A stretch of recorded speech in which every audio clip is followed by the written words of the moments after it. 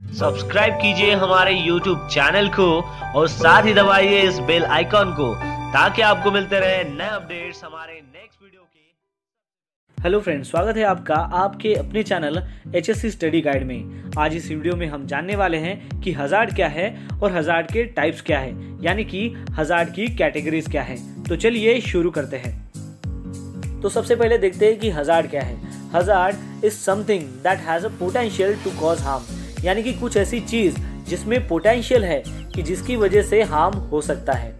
जैसे कि एग्ज़ाम्पल के तौर पर इलेक्ट्रिसिटी एक हज़ार है केमिकल्स एक हज़ार है वर्किंग अप अ लैडर मतलब लैडर के ऊपर काम करना एक हज़ार है। नॉइज़ बहुत ज़्यादा नॉइज़ है मतलब वो एक हज़ार है।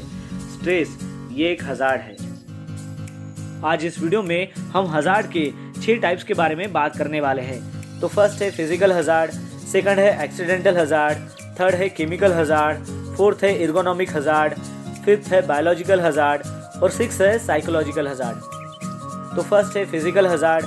फ़िज़िकल हजार्ड एक ऐसा ऑक्यूपेशनल हजार्ड है कि जिसमें इन्वायरमेंटल का भी इन्वॉल्वमेंट होता है और जिसकी वजह से जो है वो हार्म भी हो सकता है। तो आइए अब हम इसके एग्ज़ाम्पल लेते हैं ताकि आपको समझने में आसानी हो। तो देखते हैं कि फ़िज़िकल हजार्ड के क्या एग्ज़ाम्पल है। तो फ़िज़िकल हजार्ड यानी कि एक ऐसा हजार्ड कि जिसमें आपकी जो फ़िज़िकल कंडीशन है, उसके ऊपर इम्पैक्ट होता है। एग्ज़ाम्पल के तौर पर अगर मान लो हाई नॉइज़ है तो आपको जो है उसका आपके कानों पर इम्पैक्ट हो सकता है। यानी कि नॉइज़ जो है वो आपका फ़िज़िकल हजार्ड है। फिर उसके बाद है वाइब्रेशंस अगर कंटिन्यू आप ऐसी मशीन चला रहे हो, जिसकी वजह से ज़्यादा वाइब्रेशन क्रिएट हो रहा है तो आपके बॉडी में जो भी बोन्स है, उसके ऊपर उसका इम्पैक्ट होता है। तो वाइब्रेशन जो है वो उसका फ़िज़िकल हजार्ड है। और उसके बाद है इल्यूमिनेशंस इसका मतलब ये है कि अगर प्रॉपर इल्यूमिनेशन अगर नहीं रहेगा तो आप कोई भी चीज़ के साथ टकरा जा सकते हो और आपको चोट पहुँच सकती है। तो ये आपके हो गए फ़िज़िकल हज़ार की कैटेगरी तो चलिए देखते हैं कि अभी एक्सीडेंट हज़ार में कौन कौन से एग्जाम्पल्स आते हैं। तो एक्सीडेंटल हज़ार यानी कि जो भी हज़ार जिसकी वजह से जो है वो एक्सीडेंटल रिज़ल्ट आता है। एक्सीडेंटल हज़ार उसमें एग्ज़ाम्पल है फॉल्स यानी कि ऊपर से गिरना, वो एक एक्सीडेंटल हज़ार है। फिर है ट्रिप्स मान लो कि रोड पर एक केबल है और चलते चलते आपका ध्यान नहीं रहा और आप ट्रिप होके नीचे गिर गए तो वो एक्सीडेंटल हजार्ड है। फिर उसके बाद है स्लिप्स कोई भी मान लो स्लिपरी पोर्शन है, वहाँ से आप चल रहे हो, आपका पैर स्लिप हो गया और आप गिर गए तो वो एक्सीडेंटल हजार्ड में आएगा। उसके साथ साथ है स्ट्रक बाय फिर है burns cuts injuries fire explosion shocks ये सारे जो है वो एक्सीडेंटल हजार्ड के एग्जाम्पल्स हैं। केमिकल हजार्ड यानी कि कोई भी वर्क प्लेस में आप काम कर रहे हो और काम करते वक्त आप कोई केमिकल्स यूज़ कर रहे हो तो उसका जो एक्सपोजर ड्यूरेशन है आपके बॉडी के साथ में, उसकी वजह से जो है वो आपको एक्यूट या फिर क्रोनिक इफ़ेक्ट भी हो सकता है।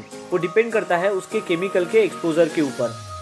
आइए फिर देखते हैं कि केमिकल हजार्ड के क्या एग्ज़ाम्पल है। तो केमिकल हजार्ड के एग्जाम्पल्स है dust fumes smoke hazardous chemicals मतलब जो भी हजार्डस केमिकल्स आप हैंडल कर रहे हो तो उसके जो हजार्डस फ्यूम्स होते हैं, जब आप इनहेल करते हो तो वो आपके शरीर के अंदर, जिसकी वजह से आपके हेल्थ के ऊपर इम्पैक्ट हो सकता है। तो ये जो सारे एग्जाम्पल्स है dust fume smoke hazardous chemicals ये सारे केमिकल हजार्ड के कैटेगरी में आते हैं।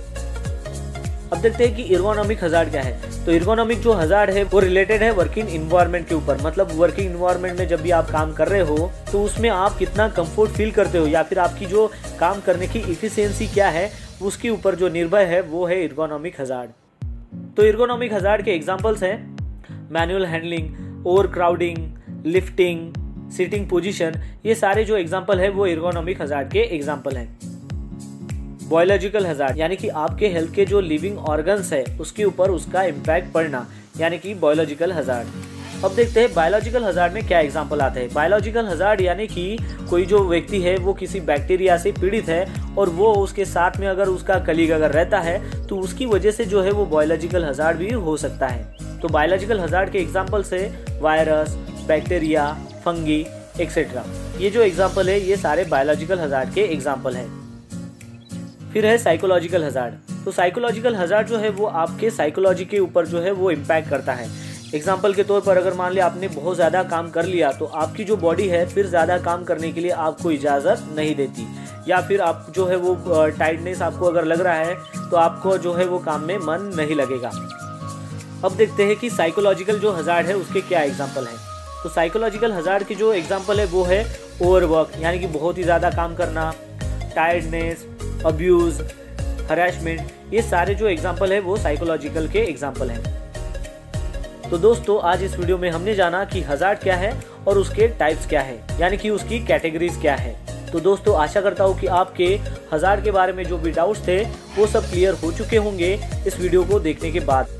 तो मिलते हैं नेक्स्ट वीडियो में एक नए टॉपिक के साथ में। तब तक के लिए टेक केयर बाय बाय